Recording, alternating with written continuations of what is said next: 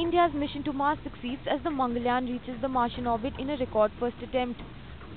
Of the 51 missions attempted across the world so far, a mere 21 had succeeded, but we have prevailed.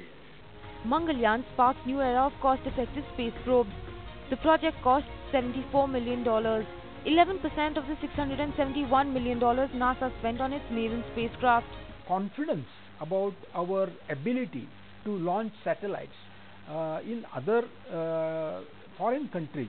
It will increase and there will be uh, definitely a rise in demand to launch their satellites by our uh, rockets.